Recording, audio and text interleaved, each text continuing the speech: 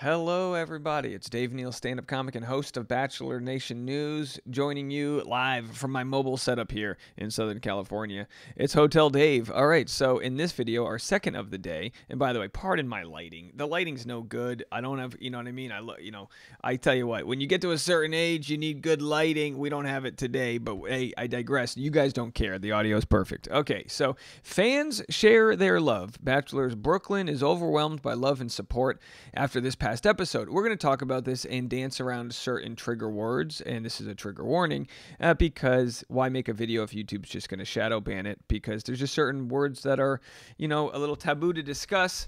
Um, on this platform. And I hate that that's the case because I think it's a conversation very much worth having. Of course, the the conversation around DV and um, uh, how brave Brooklyn is to discuss that on this past episode. And uh, we're going to read the article right now and talk a little bit about it. Grateful for her growth, Bachelor's Brooklyn is speaking out after sharing with Zach and the world that she is a survivor I am overwhelmed with the outpouring of love and support. We just read that. Along with her message of thanks, Brooklyn reposted a fan's video of footage from her date with Zach. The twosome went on a one on one date during the Monday, February 13th episode of the ABC series as the tech exec and his remaining women traveled to the Bahamas. And as we've talked about in the past, it's a sad statistic, but is an, it is an accurate one, overwhelmingly, that the um, violence that most people face in their life is not from a stranger, but from their loved one. And um, uh, so many people stay in toxic situations because of um, very a variety of reasons, from financial manipulation to um, to to loving them. You can love someone, and um, it doesn't mean that uh, you know in, in certain situations it might be hard to break the spell that keeps you in a toxic situation. So, uh, not only is it brave to leave one, but it's also brave to talk about it on national TV because you are not identified by what someone else ever did to you. Uh, but, and yet we hold on to that burden as if we did something wrong, we being the victim. And of course, luckily, I think we live in a time that's finally realizing the shame that exists and we're deburdening. So good on Brooklyn for sharing her story and all the people that it probably affects. Along with her message of thanks, Brooklyn reposted the fans' video. We got that after a fun filled day of um, ATV riding on the beach, the pair sat down for dinner. Brooklyn began by stating that she admires her grandparents' relationship and told Zach that she was in a long term relationship that became emotionally and physically abusive. I honestly never got into details with anyone because it sometimes reopens wounds. For six whole years, I was not myself, and I woke up one day and I was like, no, this can't define me, the Oklahoma native said. I truly believe that I wouldn't have just woke up and got out. I can literally guarantee I would not be sitting here right now. Brooklyn was overcome with emotion while sharing her experience. During a confessional interview, she recalled that the relationship got to such a harmful point that she woke up one night to find cops nearby after she was knocked out by her now ex when Brooklyn began ex- sharing her story, I have to tell you the there's there's just something, um, and it's sadly so uh, that it takes a show like The Bachelor where we get to know people and see the goodness, and she rides horses, and she's she just seems to be a kind person, right? And by sharing these sort of visuals and descriptions of her story, not just that she is a victim, but you know, uh, painting a little bit of that description there is heartbreaking and we shouldn't need that to empathize with somebody. But if there was any doubt, that is now gone. People are rooting for Brooklyn. She told the cameras that she that he was uh, uh, Zach told the cameras that he was blown away by Brooklyn's strength after she admitted that she never had a reciprocated love. The Bachelorette alum told his date, "You've gone through battles that I didn't imagine, but you are so effing tough, and it makes me sick to my stomach that you had to go through something like this."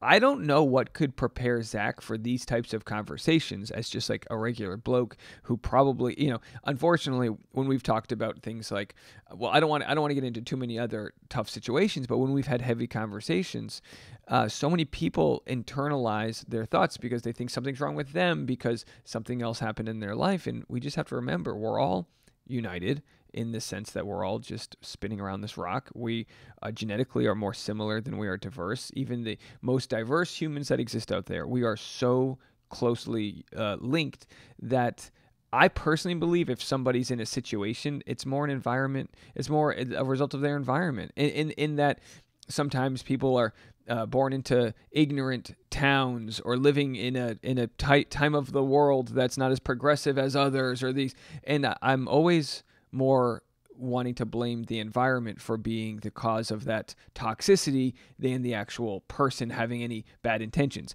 Now, Brooklyn here, she's this is a straight up story of a victim, but for her to share that and to say, "I'm not, I'm not a, you know, I'm not a weak person," I, I you know, it's it's really just kudos to her because she didn't have to do that you know? She didn't have to do that. She could have kept that to herself and she could have just have already you know gone through all of the emotional um, sort of um, journey that she would be on. But this is this is for her to share and for her audience to root her on and to, to realize you're not alone. That's what it comes down to. Sorry, to, sorry, it took so long to get there. It's a tough subject, right? Following Brooklyn's emotional reveal, host Jesse Palmer took to social media to share support. Heartbreaking to hear Brooklyn talk about her past relationship. She is so strong, courageous, and deserving of love and happiness. This isn't the first time contestants on the series have shed light on their difficult past. During a June 2021 episode of The Bachelorette, Katie talked about her past experience with SA. And um, we're, and then she had her quote there I'd been drinking and was involved in a situation where there wasn't consent. And, uh, and then, of course, as the show uh, has learned about I would say more, you know, new age ways to discuss this. They've learned to start using title cards, which are the cards in the beginning of a scene that say, "Hey, there's going to be a heavy conversation which you know gives people the chance to bow out if they're not wanting to hear it. Um, if you or someone you know are experiencing domestic violence, please call the the National DV hotline 1-800-799-7233 for confidential support. So we are rooting her on very much and look forward to seeing where Brooklyn's journey takes her. I thought it was I thought her her one-on-one date was really it's just a real great experience. They did the kiss, then she hit him with the knuckles, and he goes, "Oh, knucks," and she's like, "No, it's because we're friends now, or whatever." She, you know, I think we've all been Brooklyn in that situation where we've done something and don't know what to. I mean, she's making out with a guy, and then she's like, "I don't know what to do next," and she gives him a, you know, pound like he's a cousin of hers. How funny, uh, you know, they're from. All right, whatever. Uh, but how funny for her, right there. All right, I had one more story from Us Weekly, but I don't know if I can find it here. One second. Do we have it? It might be gone it might be gone. The story we had was um, oh, I was going to talk about per- the perfect match. Um, are you guys watching the perfect match? I know it's a weird segue to get into here, but I have committed to recapping the show. But I think that rather than recapping the show, I'm just going to sort of discuss it um, on the podcast uh, as more of just like additional conversation regarding the show. So and again, I know this is a hard left turn. Perfect Match is essentially Netflix version of Bachelor in Paradise, which is where you send it's it's kind of like Land of the Misfit Toys. It's where you send everybody when they've already done their dating shows and they're still single. That's kind of what it is. It's like, all right, still single. It's like when you go to a store and there's all those like, um, you know, well, it's a tough analogy to make. It's the clearance aisle, folks.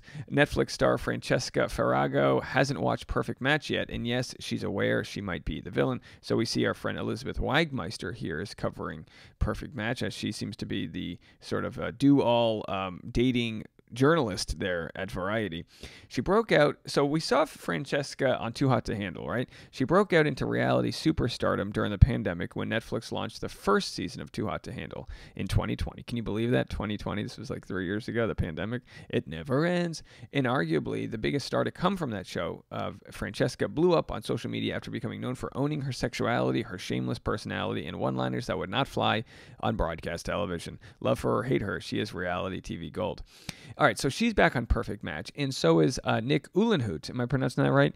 And you know, on the first couple episodes, they have like kissing contest, which by the way, Nick scored like a really, I think the highest score. He got like nines out of tens. They did blindfold kissing contest, and there's no blurring of the butt cracks and all of the FCC rules that we see on uh, network TV. And because of that, they're able to take some more liberties. It's a far sexier show, to put it lightly, but Perfect Match has very similar gamesmanship that Bachelor in Paradise does. Now, Bachelor in Paradise does this the rose at the end of the thing. Do you accept this rose? And they match up. What I love about how like trashy Netflix can be uh, is that rather than have some sort of formality, they just say, "Do you want to go up to my villa with me?" So by bringing someone up to your villa, that's considered a match, and then I, and then you have to sleep together. I don't think you don't have to get intimate, but you have to like sleep in the same villa together.